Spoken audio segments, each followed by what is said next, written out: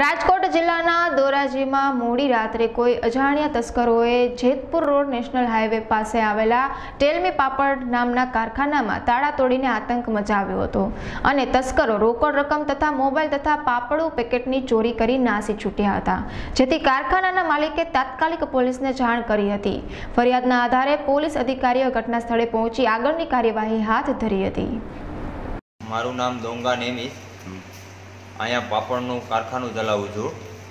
Jetpur road ઉપર અતુલ મિલની સામે. MN foods ટેલમી પાપડના નામથી.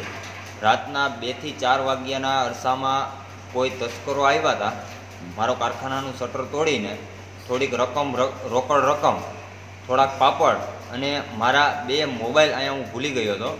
એ ચોરી થઈ ગયેલ છે. તો પોલીસ ફરિયાદ મેં કરેલી છે.